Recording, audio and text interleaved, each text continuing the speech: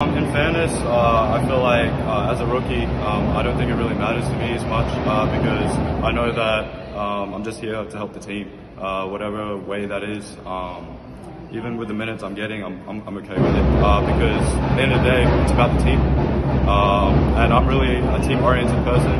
Um, I'm not really, I don't really dwell on things like that. I look at it as a positive actually because the opportunity I get, I can show what I can do. Um, so I'm a true believer in that. It, it, I'm a team spirit type of player. Um, and minutes, I don't really look at that. Um, I usually look at how I perform defensively, um, how I can contribute on other areas besides scoring, because um, that's what wins you championships and games, and that's what we need right now. Uh, I think so. Uh, I've noticed some improvement uh, defensively, especially. Um, that's what uh, the coach has been harping on me to uh, improve. Um, I'm taking that as a challenge. I love challenges, um, and obviously getting fitter. Uh, it's I'm getting a lot fitter than I was before.